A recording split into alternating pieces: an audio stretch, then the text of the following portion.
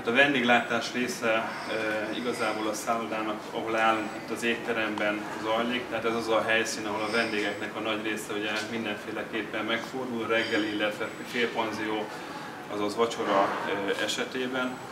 A dolgozói létszámunk az egy ilyen 50-60 fő között változik, amiben felszolgálók, városok, éttermi vezetők, konyhafőnök, szakácsok, hentes, konyhai kisegítők, raktáros, illetve az áruforgalommal foglalkozó kolléganők dolgoznak. Tehát ez a vendéglátás részlege a szállodának.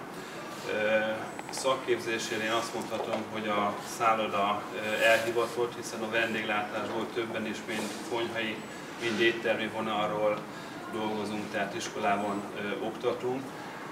Azt gondolom, hogy a kamarával egy nagyon jó együttműködésben nagyon sok diákot tudunk alkalmazni vagy foglalkoztatni, tehát mint gyakorlati képzőhely azt gondolom, hogy Zalakarosban az egyik legnagyobb vagyunk, aki ebben a vendéglátó szakmacsoportban dolgozik a diákokkal.